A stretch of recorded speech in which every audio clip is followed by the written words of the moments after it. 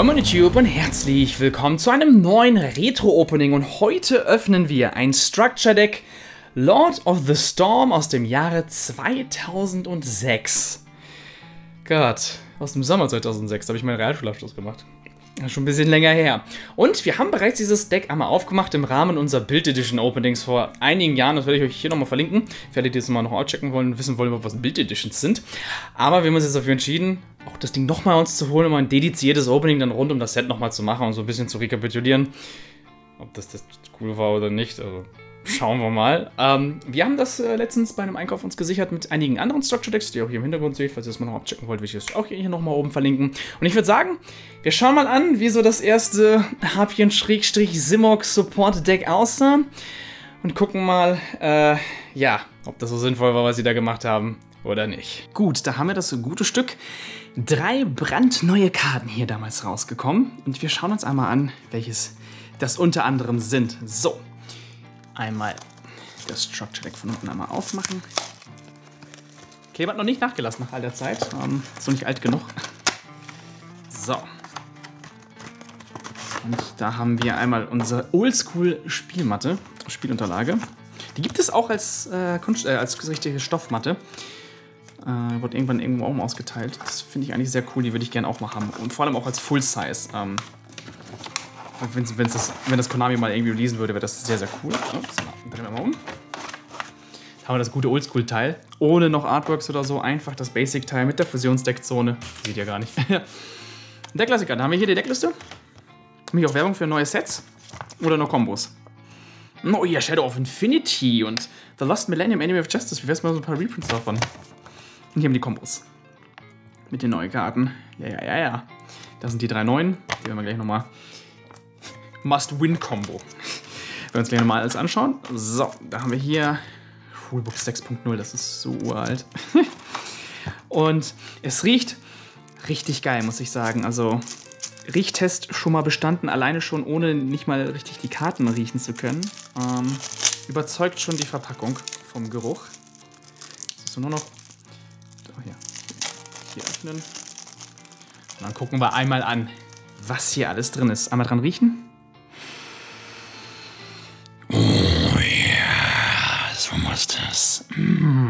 Sehr nice.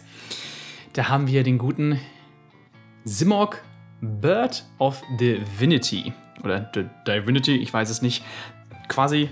Ist das eigentlich das erste Simorg-Monster? Ich kann mir vorstellen, dass das das erste Simorg-Monster war, überhaupt, was überhaupt jemals erschienen ist. Und später kam ja ein bisschen mehr und jetzt mittlerweile ist es sogar ein Thema geworden. Ähm, Stufe 7, Wind, Ungeheuer, geflügeltes Ungeheuer, 2700 Angriffspunkte, 1000 Verteidigungspunkte. Diese Karte kann nicht als Spezialbeschwörung beschworen werden. Falls, ähm, falls du diese Karte als Tributbeschwörung beschwörst, müssen die Tribute Windattribute haben oder Wind, Wind, Windtyp sein. Solange diese Karte offen sich auf dem Spielfeld befindet, kriegen, erhalten beide Spieler 1000 Punkte Schaden während, während der Endphase eines jeden Spielers. Und ähm, verringere den Schaden, den jeder Spieler nimmt, dadurch bei. Achso.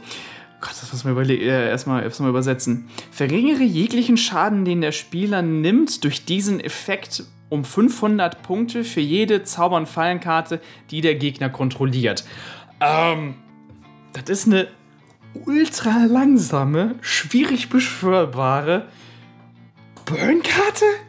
What? Was hat das mit, mit Harpien zu tun? Und mit Simwalk auch so. Ugh.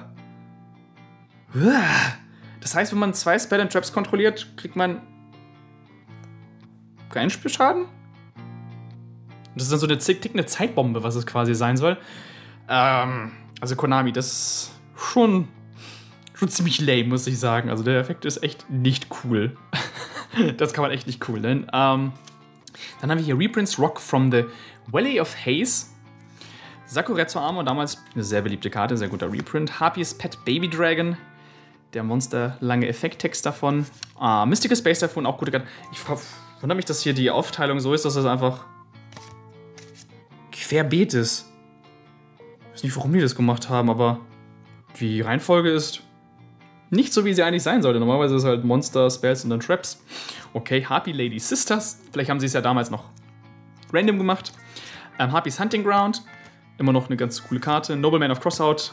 Hm, damalige Format auch sehr cool gewesen. Hey, Harpy Lady 2.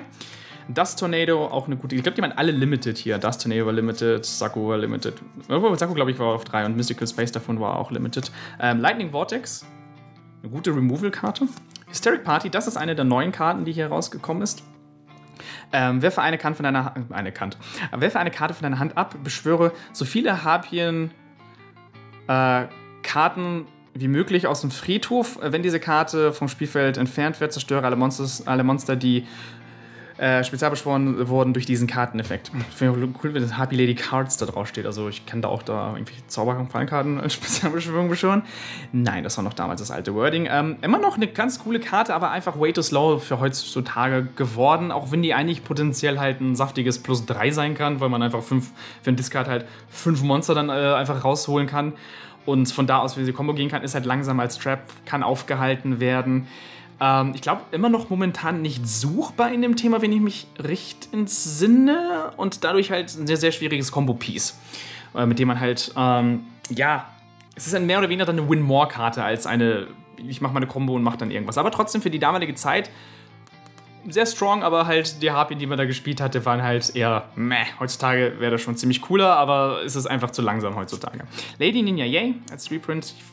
Diese Bewegung und diese, diese Körperhaltung. What is this? Reckless Greed, Harpy Lady 3, Slate Warrior, Elegant Egotist. Immer noch eine Karte, die gespielt wird heutzutage. Einfach Harpy aus dem Deck Special Combo Extender, Harpy's Hunting Ground. Was ist das für eine Reihenfolge? Warum ist hier eins und dann hier nochmal eins?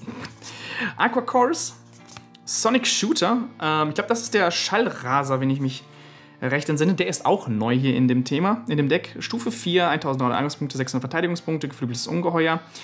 Ähm, wenn sich keine Karten sich in der gegnerischen Zauber- und Fallenkartenzone befinden, kann diese Karte direkt die Lebenspunkte deines Gegners angreifen. Und falls, also falls du das tust, wird jeglicher Kampfschaden, den diese Karte deinem Gegner zufügt. Warte mal. When it does, any battle damage is conflicts to your opponent's life points becomes the original attack of this card. Moment, was ist, was, was ist das für ein Effekt? Wenn diese Karte einem Kampfschaden zufügt, werden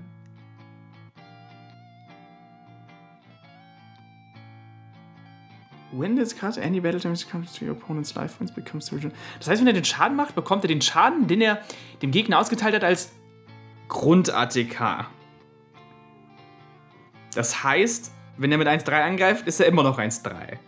Aber wenn man ihn pusht mit irgendwas. Ich glaube, die Field Spell zum Beispiel, die pusht ja, glaube ich, nee, die pusht ja nicht mit dabei. Immer, wenn irgendwie pusht, sagen wir mal, der greift dann direkt mit 1,8 an, dann wird danach seine Grund-ATK auf 1,8 gehen. Und dann, wenn die Equip geht, dann bleibt er immer noch auf 1,8.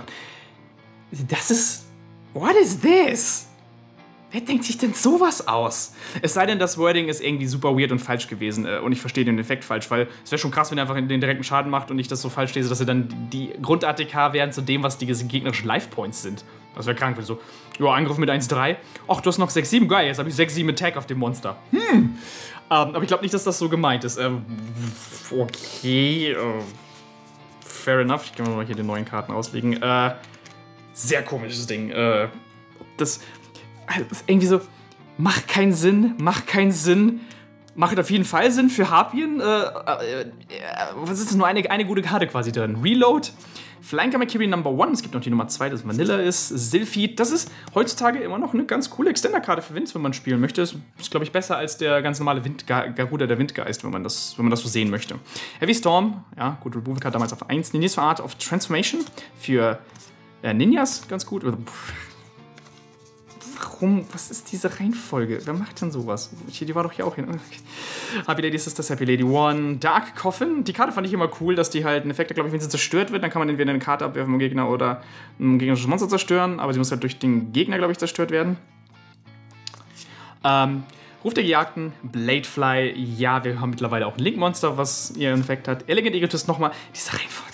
Happy Girl, sehr cool. Äh, haben wir auch in uns zensiert hier auf dem, äh, auf dem Kanal. A happy chick who aspires to flit about beautifully and gorgeously, but attack sharply. Icarus Attack, gute Karte äh, für Wind-Decks, äh, also, also Wing-Beast-Decks. Wundert mich, dass die hier nicht neu drin war. Hätte jetzt gedacht, dass die hier zum ersten Mal rausgekommen ist. Das wäre eine echt gute Powerkarte gewesen. Aber ich glaube, die ist hier nicht neu drin. Triangle Ecstasy Spark, Birdface, Sonic Duck, um, a duck which can walk at a sonic speed. Sometimes he cannot deal with his incredible pace and loses control. Magic Gemmer, Swift Birdman Joe, Card Destruction, cool. Und Flanker Mercury Number One nochmal. Was mich jetzt wundert ist, warum ist Happy Girl und Sonic Duck drin, aber nicht die normale Harpie? Was ist das für.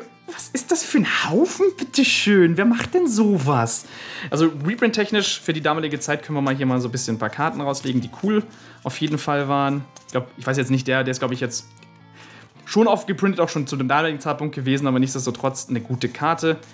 Heavy auch halt auch eine Karte, die oftmals früher sehr oft ähm, reprintet worden ist. Ich weiß gar nicht, wie man Call jetzt bewerten sollte. Kann man auch sagen, so guter Reprint. Ähm, und Card Destruction eher weniger damals. Ähm, ja, also Bewertung für das Deck zur damaligen Zeit. Äh, Fragezeichen? Was ist das? Was soll das? Reprints waren okay, glaube ich, würde ich mal sagen. Ein paar gute Karten für Einsteiger, die damals eingestiegen haben und ein paar stärkere Karten haben wollten, aber taktiktechnisch gesehen ist das absoluter Müll. Was ist denn das? Das ist irgendwas Direct Attack, das ist irgendwie so ein ich setze dich unter Zugzwang Burn, Burn Damage, weil ja, ich verstehe schon, was die Logik dahinter ist. Du hast halt HPs Hunting Ground und schießt damit beim Gegner die Karten immer weg und so kriegt er eigentlich immer den Schaden und man selbst nicht, weil man halt seine Backrow behält. Aber Hunting Ground ist erstens Pflichteffekt, das heißt, manchmal muss, man bei sich wegschießen und zweitens, wie willst du das Ding in, jemals in deinem Leben beschwören? Und drittens, das ist die einzig coole Karte, die wirklich auch mit den Harpien zusammenarbeitet. Und dann frage ich mich, warum sind dann jetzt HP 1, 2, 3 drin und ähm, die anderen ganzen, alle Harpien-Karten außer Harpie selbst klar, ich verstehe es. Also, dass man jetzt nur Lady 2, 3 und äh, Lady 1 drin hat, dann kann man nur die drei spielen, weil die heißen im Main Deck halt alle Harpy Lady. Aber nichtsdestotrotz, also kommt schon. Ihr müsstet doch nicht die drei anpacken, packt doch die Original Harpy rein oder so. Ihr habt doch eh Elegant Egotist. Das ist doch das eigentliche Target dafür. Und die Karte habt ihr, glaube ich, sogar zweimal drin. Wenn ich mich recht entsinne. Oder einmal? Wie los? Ne, zweimal ist sie drin. Und. Na gut. Also die coolste ist ja, glaube ich, die immer noch, weil die Attack-Push gibt, glaube ich. Ähm, und die anderen sind halt, boah, Happy Ladies ist das gut. Kann ein bisschen in dem Ruling liegen natürlich, dass, dass man halt nicht äh, mehr als drei von den Harpien halt im Deck haben kann, aber nichtsdestotrotz ist es irgendwie weird, dass man halt die Original Harpie dann einfach nicht drin hat. Oder Cyber Harpy Lady, aber ich glaube, die kam später, erst glaube ich mit Re Re Retro Pack oder so zu uns, also ein paar Jahre später. Daher, dazu kann ich nichts sagen. Okay. Interessantes Retro-Opening. Ähm, das Deck ein bisschen über alle Wege zerstreut. Nicht so wirklich fokussierte Thematik. Ähm, gut. Äh, haben wir jetzt dazu auch, glaube ich, noch nie. Haben wir dazu ein Reloaded-Deck gesehen eigentlich? Nö, haben wir nicht. Also eigentlich wäre mal cool, wenn wir dann irgendwann noch ein Harpian Structure Deck oder so dazu sehen würden. Oder halt ein Simorg oder halt ein neues Windding, was irgendwie beides einfach vernünftig supportet. Besser als das, was hier war. Das würde ich mir gerne wünschen, aber da sind wir eigentlich schon lange dran vorbei, weil die haben wir, glaube ich, quasi mit den, ja, glaube, was mit Monarchen war das erste Reloaded Structure Deck. Sie haben quasi kurz danach damit angefangen. Und daher ähm, wird es dafür auch wahrscheinlich nie ein Reloaded geben. Aber wer weiß, wir kennen ja Konami, die machen gerne mal gut und gerne die alte Nostalgiekeule aus dem Keller holen und dann geht das wieder los. Das war's dann hier von mir. Ich hoffe, ich habe euch soweit einigermaßen hier rüber informieren können und ich hoffe, wir sehen uns dann beim nächsten Mal wieder. Bis dahin und tschüssi.